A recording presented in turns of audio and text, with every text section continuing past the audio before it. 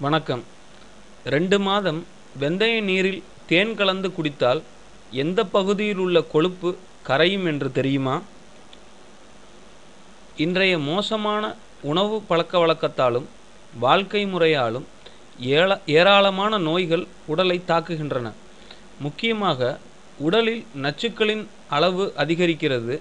குறிப்பாக இரத்த குழாயினுள் கொழுப்புகள் படிந்து இரத்த குழாய்களை அடைத்து இதயத்திற்கு இரத்தம் செல்வதில் இடையூறு ஏற்பட்டு இதய பிரச்சனைகள் மற்றும் மூளை பிரச்சனைகளை சந்திக்க நேரிடுகிறது. இப்படி இரத்த குழாயினுள் தேங்கும் கொழுப்புகளை கரைக்க மருந்து மாத்திரைகள் மட்டுமின்றி பல்வேறு உணவுகளும் பானங்களும் உதவுகின்றன. மருந்து மாத்திரைகள் கூட சில சமயங்களில் பக்க விளைவுகளை உண்டாக்கும். ஆனால் இயற்கை பானங்கள் உணவுகளும் எந்த பக்க விளைவுகளையும் ஏற்படுத்தாது. இப்போது நாம் இரத்த குழாயில் தேங்கியுள்ள கொழுப்புகளை கரைக்க உதவும் ஓர் இயற்கை பானம் என்ன என்பதை பார்ப்போம். வெந்தயம். இரத்த குழாய்களில் அடைப்பை உண்டாக்கும் கொழுப்புகளின் தேக்கத்தை கரைக்க வெந்தயம் பெரிதும் உதவியாக இருக்கும். ஆய்வுகள்.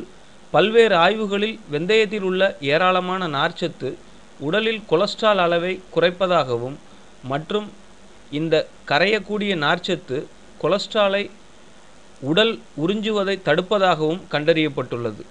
வெந்தயத்தின் இதர நன்மைகள் வெந்தயத்தில் இருக்கும் நார்ச்சத்து உண்ணும் உணவுகளை எளிதில் செரிமானம் அடைய செய்வதோடு பித்தநீரின் உற்பத்தியை சீர் செய்யும் மேலும் உடலில் மூளை முடுக்குகளில் உள்ள தீங்கு விளைவிக்கும் டாக்சின்களை முழுமையாக வெளியேற்றச் செய்யும். வெந்தய நீர் தயாரிப்பு முறை. ஒரு கப் நீரில் ஒரு டீஸ்பூன் வெந்தயத்தை போட்டு ஐந்து நிமிடம் கொதிக்க வைத்து இறக்கி தேன் கலந்து தினமும் இருமுறை குடிக்க வேண்டும். மேலும் தகவலறிய சேனலை சப்ஸ்கிரைப் பண்ணுங்கள் நன்றி.